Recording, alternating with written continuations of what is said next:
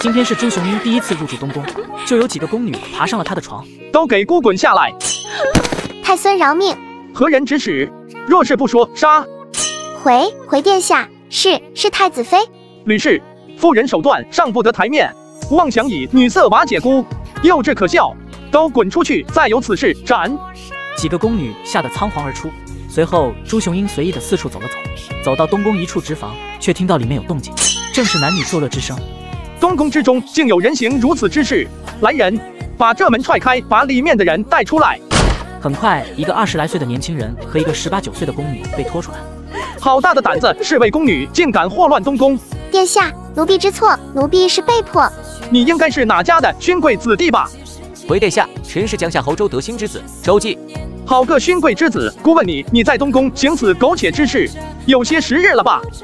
回殿下，呃，之前吕氏在时，竟不得而知。太子妃知晓，并未说什么。吕氏知道，但没有说这是故意放纵，是为了以此威胁周记父亲周德兴。如今看来，朱允文拉拢文臣，吕氏也要想着拉拢一些武勋。吕氏知晓，却不阻拦，他很看重你呀。回殿下，臣尽心尽力护卫东宫。太子妃知晓辛苦，顾问。来人，把周记压下去，重打三十棍。啊，刚刚不是还聊得好好的，未见太孙怒容啊？而且不是说了，太子妃也不管这事儿。殿下，殿下，臣臣错了。很快，周忌被带下去，狠狠地打了起来。啊啊！周忌，你罪有二：一，淫惑东宫；二，受吕氏放纵，得意忘形。三十棍是先给你个教训。殿下，太子妃知晓此事，也不曾说臣。那妇人把这东宫的风气都带坏了，如今这东宫之主是孤，孤便要肃清余毒，严整东宫。殿下，臣错了，臣知罪。啊，臣父亲是江夏侯周的兴，位列淮西二十四将，是淮西五勋，咱们是自家人啊。姑听你说，你是被逼。奴婢不想祸周忌有染，奈何他身份高贵，而且在东宫，太子妃对其行为视而不见，我等宫女纵然不堪其辱，也只能忍着。虽然无辜，却也要责罚。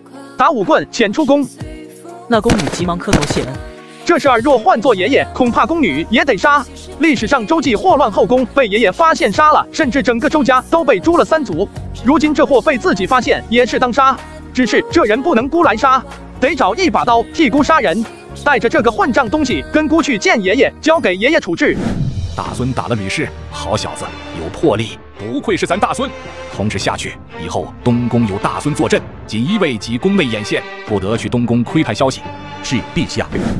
大孙深夜还不睡？爷爷，你还在看奏折？不是已经定下十二殿阁秘书来负责这些事？才刚开始，爷爷未必放心，自己要多操心些。对了，大孙这么晚来是有事？带上来。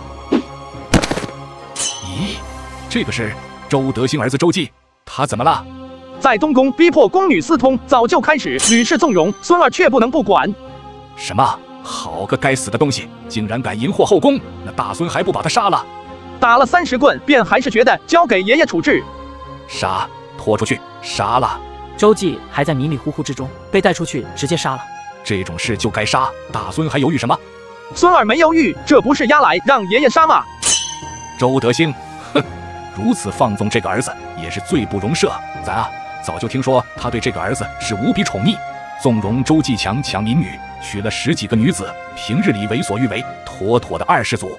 咱念及周德兴跟咱关系亲近，又是功勋，所以睁只眼闭只眼。他倒好，还混账到咱宫里来了。那爷爷打算如何处置？机会咱给过了，如今出了事，周德兴也别想安然无恙。这是淫惑后宫，不是其他罪那么简单。何况太子刚下葬，朱全家，雄鹰以为如何？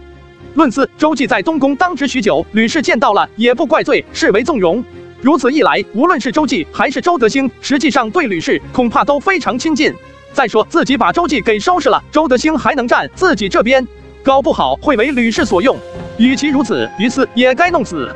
不过这杀淮西五勋毕竟不是啥好事，搞不好有损自己这个太孙的名声，让其他淮西五勋心凉。蓝玉、常家这些不担心。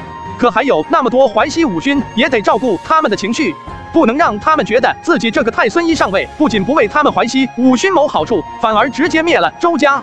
所以这事儿还得找人背锅。